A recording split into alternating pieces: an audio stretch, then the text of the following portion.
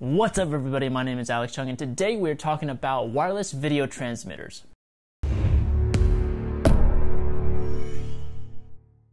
Have you guys had this problem where you're on a shoot and you're on a project, you're out shooting, you're getting great footage, but everybody has to huddle around the small little camera LCD screen and try to see what kind of shot you're trying to get? Or maybe you're on a gimbal and you're moving around and the director has no idea what the shot is and what you're shooting. These kind of problems are super common on lower budget films and lower budget projects. Those are times when you need something like a wireless video transmitter that sends the signal from your camera to an external monitor where someone else can monitor and see your shot. That way, if your shot looks bad or if there's something in the frame randomly, you can have a second pair of eyes monitoring the shot, making sure nothing is ruining it. So today we're reviewing the Hollyland-Tech Mars 300 wireless video transmitter. I'm not paid to do this review, but they were awesome enough to send out a review unit, a demo unit to me so that I can use it for a bit and share my opinion on whether or not this would be right for you guys. So let's get right into it. And first, we're gonna be taking a look at what's inside the box. You get two units. One is the transmitter that sends out the video signal from the camera,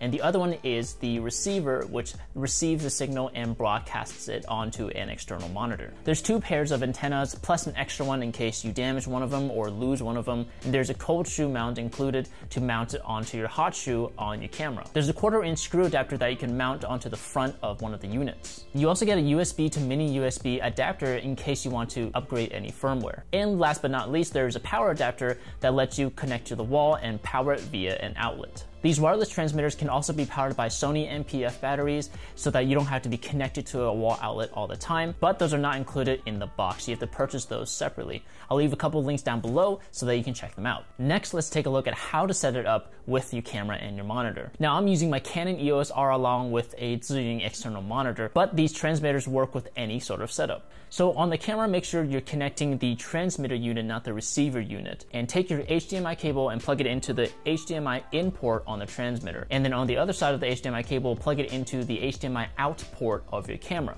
There is a second HDMI loop out port on the transmitter, which allows you to plug in an external monitor if you need to use one for when you're shooting on your camera. Now to mount it on the camera, you have two options. The first is mounting it pointing straight up using the quarter inch hole at the bottom of the transmitter and screwing on the cold shoe mount. The second option is to attach the quarter inch screw mount to the front of the transmitter and putting it sideways on the camera. And that way you have a more compact setup instead of it pointing straight up. And now for connecting it to your monitor, make sure you plug your HDMI cable to the HDMI out port on the receiver and then the other side into the HDMI in port on your monitor. And you also have a second HDMI out 2 port in case you have a second monitor that you need to mount for someone who is pulling focus. So once you have everything connected, make sure you power everything on, including the monitor and the camera, and begin the pairing process by hitting the pair button on both units. It'll take a few seconds for them to link up, and once they do, the link light will turn green. Next, let's talk about some of the features of these transmitter units. Using this on set is super convenient and easy, especially if you're like me and you're using gimbals all the time when you're shooting. For me, I'm able to connect the transmitter to the side of the Zhiyun Crane 3 using a small articulating arm. And because it's so lightweight and portable, I don't have to worry about whether or not it's gonna add on a ton of weight to my already heavy gimbal setup. And what's great about this transmitter is that it can send a 1080p video signal up to 300 feet with virtually no lag or any latency to the image. I was on a shoot recently where we were driving up to, into the mountains and up into the woods,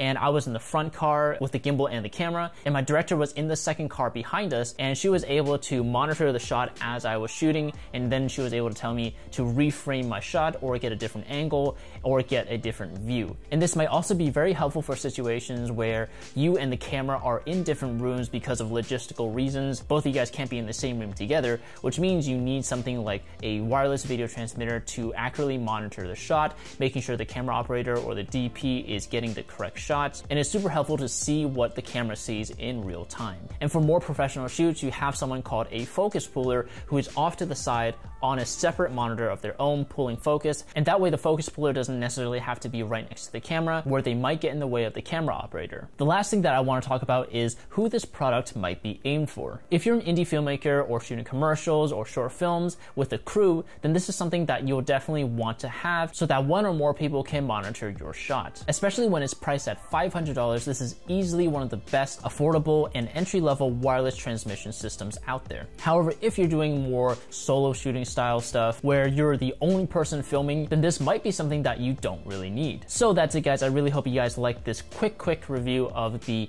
Mars 300 by Hollyland Tech. I'll leave a link down below if you guys want to check it out for yourself. If you like this video, please hit that like button. Make sure to subscribe turn on the bell to get notified of every video that I post. I will be making more filmmaking tutorials just like this one, so make sure you stay up to date.